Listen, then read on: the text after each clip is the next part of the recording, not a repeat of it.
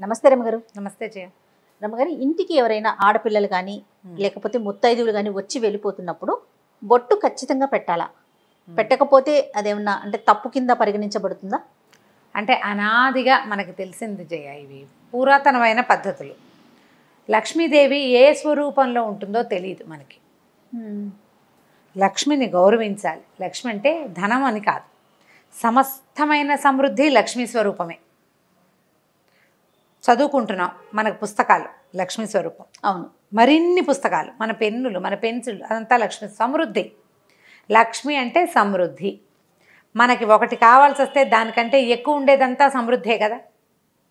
ఆరోగ్యం అంతే ఐశ్వర్యం అంతే ఇల్లంతే వాకిళ్ళ సమస్తమైనవి బట్టలతో సహా. ప్రతిదీ సమృద్ధి. ఈ సమృద్ధిని ఇచ్చేటువంటి ఆ శక్తి ఏ స్వరూపంలో గోచరిస్తుందో మనకి కనపడదు. మనకు తెలియదు అది తెలియదు కాబట్టి మన ఇంటికి వచ్చిన స లక్ష్మికి స్త్రీ స్వరూపం ఉంటుందని అనాదిగా మనం నమ్ముతున్నాం అవును అవును. ఆమె స్త్రీదే శ్రీదేవి స్త్రీ స్త్రీదేవత పురుష రూపంలో కూడా రావచ్చు.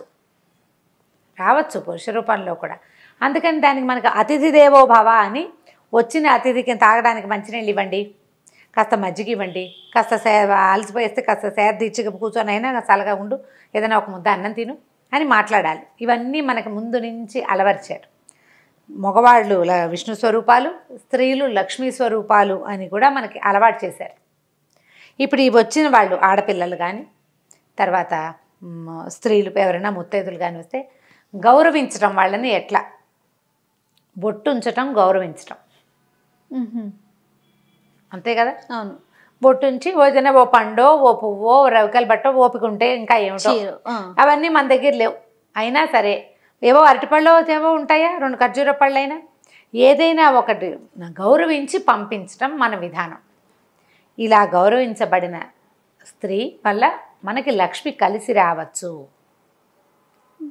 ఆమె ఎందున్న లక్ష్మి గౌరవింపబడి మన ఎందు ఉండాలని భావించవచ్చు రెండోది స్త్రీలకి బొట్టు పెట్టడం. అది ఏంటంటే దీంట్లో ఒక చిన్న మార్మికమైన ఒక వ్యవహారం ఉంటుంది. ఇప్పుడు ఎవరో మన ఇంటికి వచ్చారు. వాళ్ళకి మన పట్ల ఎలాంటి ఇబ్బంది అనాదర భావం కలిగిన లేకపోతే ఈర్ష్యాసూయలు సంద పుట్టిన ఏదో ఒక భావం కలుగుతుంది కదా. అదొక తీవ్రమైన భావం అనుకో. దాని దృష్టిపాతం మన మీద ఉండకూడదు. అందుకని ఈ నుదుటన ఉండే ఆజ్ఞా చక్రాన్ని చల్లబరుస్తాం మనం బొట్టు పెట్టి. అది వాళ్ళ దృష్టి పాజిటివ్గా మన మీద ఉంటుంది.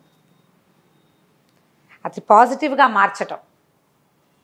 ఒకటి గౌరవించటం అయితే రెండోది వాళ్ళ యొక్క ఉద్దేశాలలో మన మీద ఎటువంటి ఆగ్రహమో ఆవేశమో కష్టమో నిష్ఠూరమో విసుగుదలో ఏదైనా అయిష్టమో లేకపోతే ఒక ఈర్ష్యో ఒక తీవ్రమైన భావం కలిగితే ఆ తీవ్ర భావాన్ని చల్లబరచటం.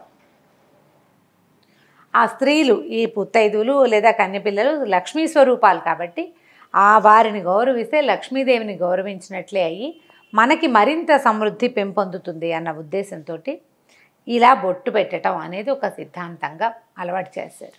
అది పెళ్ళైన స్త్రీకైనా పెళ్ళి కాకపోయినా కూడా. అంతే కదా ఉమ్, పెళ్ళైన స్త్రీ ఖచ్చితంగా పెట్టాలి. పెట్టాలి.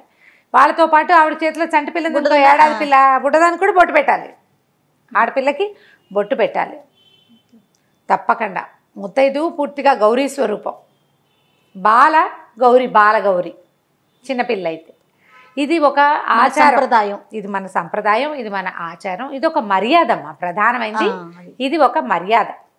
ఆ మర్యాదని మనం అలవరుచుకోవాలి. కొనసాగించాలి. కొనసాగించుకోవాలి అలవర్చుకోవాలి పిల్లలకి నేర్పించాలి. ఉండండి బొట్టు పెడతాను అని చెప్పి ఉంచి బొట్టు పెట్టి పంపించాలి. ఆ బొట్టు పెడతాను ఉండు అన్నది ఒకసారి ఆజ్ఞగా భావించి లక్ష్మీదేవి మన ఇంట్లో స్థిర నివాసం కూడా చేయొచ్చు. ఆవిడ వెళ్ళిపోతుంది బొట్టు పెట్టించుకున్న ఆవిడ. ఆ బొట్టు పెడతాను ఉండు అని అన్న మాటని లక్ష్మీదేవి స్వీకరించవచ్చు ఆ పాజిటివ్ దృక్పథంతోటే మనం బొట్టు పెట్టాలి. పెట్టేటప్పుడు మనం కూడా శ్రద్ధగా ముందు మన మొహాన్ని ఉంచుకుని. అప్పుడు ఆ చేత్తో తీసి ముఖంలో పెట్టడం ఏదైనా పండో ఫలమో ఏదో ఇవ్వటం. కుంకుమ బరట పడిపోకుండా కాస్త జాగ్రత్తగా పెట్టడం ఈ కుంకుమ అనేది మంగళ ద్రవ్యం చాలా జాగ్రత్తగా ఉంచుకోవాల్సిన ఆ పద్ధతి ఇవన్నీ కూడా మనకు ముందు నుంచి అలవర్చారు చూడు. కొన్ని కొన్ని మానేసాం మనం. కానీ కొన్ని మానల అందులో ఈ బొట్టుంచే విధానాన్ని మానుకోలేదు మనం. మానుకోలేదండి. అందరూ పెడతారు. అవును అవును. అందరూ బొట్టు పెడతారు. కాబట్టి తప్పకుండా ఈ విధానాన్ని ముందుకు తీసుకెళ్ళండి.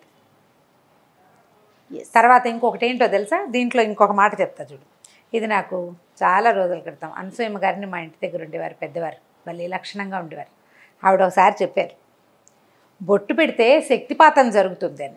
అంటే ఇప్పుడు నేను నాకు బొట్టు పెట్టావు నువ్వు. నాలో ఉన్న శక్తి నాలో ఉండే సా- సాత్వికమైన శక్తి అంశ ఏదైనా ఒకటి ఉంటే అది నీకు దొ- దొరుకుతుంది. అది నీకు లభిస్తుంది. ఓ. శక్తిపాతం అంటారు దాన్ని. ఓకే. కొంతమంది మహానుభావులు చాలా పెద్దవాళ్ళు స్త్రీలు చాలా పెద్ద ముత్తైదువులు. వాళ్ళు వస్తే వాళ్ళ యొక్క ఐదవతనము వాళ్ళ యొక్క ఐశ్వర్యము ఎక్కువ సంతానాభివృద్ధి ఉండటము వంశాభివృద్ధి జరిగే లక్షణము భగవంతుని ఎందు ఆకర్షితులయ్యే పద్ధతో. ఇతరుల పట్ల ప్రేమగా ఉండే ఒక మనస్తత్వం ఒక సాత్వికమైన శక్తి మనకి లభిస్తుంది. అది ఎవరి నుంచి లభిస్తుందో మనకు తెలియదు కాబట్టి అందరికీ బొట్టు పెడితే ఎవరో ఒకళ్ళ దగ్గర నుంచి ఆ సాత్విక శక్తి మనకి లభించడానికి అవకాశం ఉంది. రమ్మగారు ఇప్పుడు మనకన్నా ఒక పది పదిహేను సంవత్సరాలు పెద్దవారు అనుకోండి వారికి కూడా మనం బొట్టు పెట్టొచ్చా? అందరికీ పెట్టచ్చు. అందరికీ పెట్టచ్చు. పెద్దవాళ్ళకి మనం బొట్టు పెట్టకూడదు అలాంటిది ఉండదు. ఎవరికైనా పెట్టచ్చు. ముసలి మా అమ్మలకి కూడా అంత పెద్దవాళ్ళకి బొట్టు పెట్టే అవకాశం లభిస్తే భగవంతుడు మన మీద మంచి కరుణ చూపించినట్టు. బొట్టు పెట్టచ్చు పసుపు రాయొచ్చు. పెద్దవాళ్ళు కూడా చిన్నపిల్లలకి ఎప్పుడు రాస్తారు? పసుపు రాయటం బొట్టెట్టడము ఏదైనా వాళ్ళు నోవు చేసుకున్నారనుకో. ఓ యాభై ఏళ్ళ ఆవిడ నోవు చేసుకుంది అనుకో ఆ నోవుకి తాంబూలం తీసుకోవడానికి ఒక చిన్న పిల్ల ఓ పదహారేళ్ళ పిల్ల కొత్తగా పెళ్ళైన పిల్ల వచ్చింది అనుకో పద్దెనిమిది ఏళ్ళ పిల్ల.